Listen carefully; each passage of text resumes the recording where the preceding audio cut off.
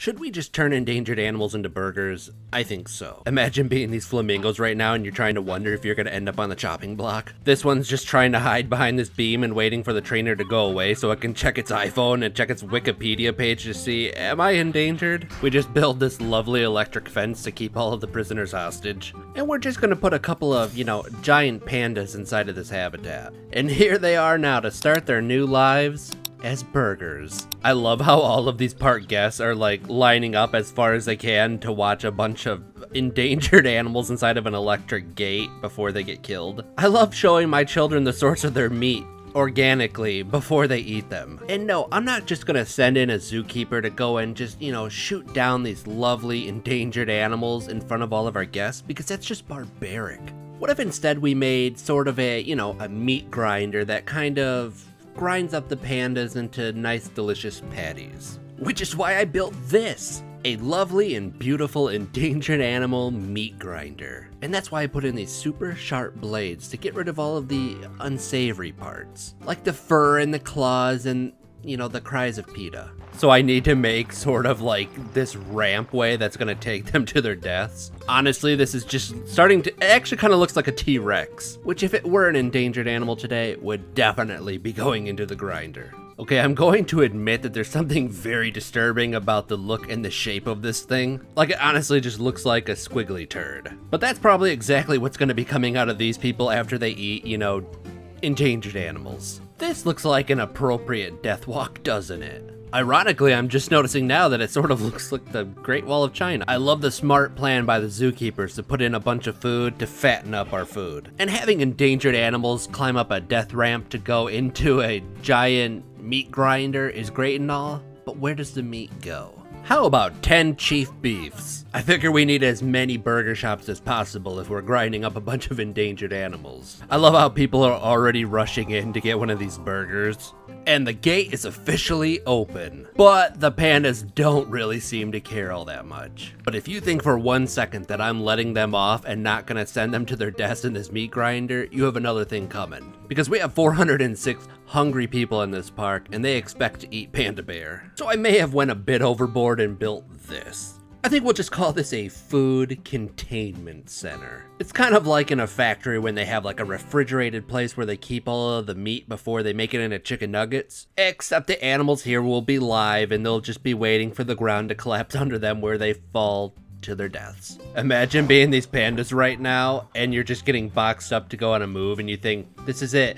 I'm finally going to be placed somewhere great. They're moving me and my family up to greater pastures. And then he just dumps you off up here. This one is basically just giving up on life. Ooh, look at the seasoning we have for our burgers down below. But part of me is thinking that three panda bears is not gonna feed 410 people. Maybe we need a few more endangered species to put up here. And just to make sure things are good up here, disable animal predation and fear stops animals hunting each other. While an animal fight club would be pretty cool, we kinda need to feed our guests. Are lions endangered? If they're not, they're about to be. As in, their lives are gonna be very endangered when the ground opens up below them and, you know, they fall to their grinding deaths. Oh, a couple polar bears. I feel so bad for this one because rhinos are my favorite animal in the world, but you know what? They're very endangered. Wait, aren't Chinese pangolins the things that, you know, started this whole worldwide pandemic because too many people wanted to eat them and bats. Yeah, I figure if you're dumb enough to eat a creature like this,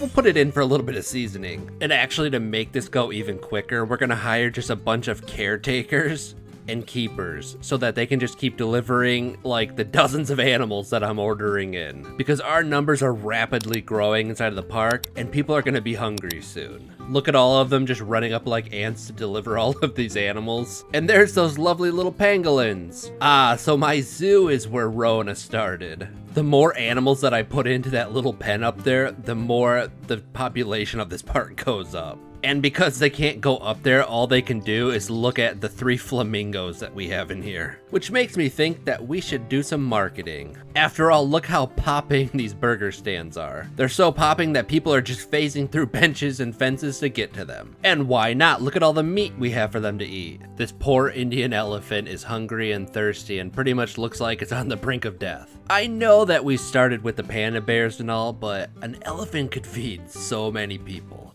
Oh my god, look at it just sink down. This is it, people.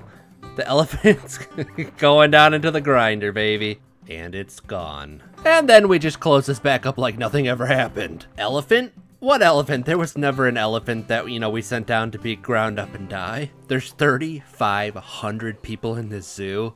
And look how crazy they go for the elephant burger. Which honestly makes me think of one thing. We need way more animals if we're gonna feed all of these people. And to think I was gonna feed all those people with just three little panda bears. And I'm not gonna lie, some of these animals already look like they're dead, which is great for us. Struggling inside of the meat grinder spoils the meat. I love how this tiger, which is heavily endangered, is hungry and dehydrated, but its animal welfare is 100%. Using cheats in a game like this when you're trying to make this video is what I like to call a pro gamer move. Oh my god, one of the pangolins is escaping.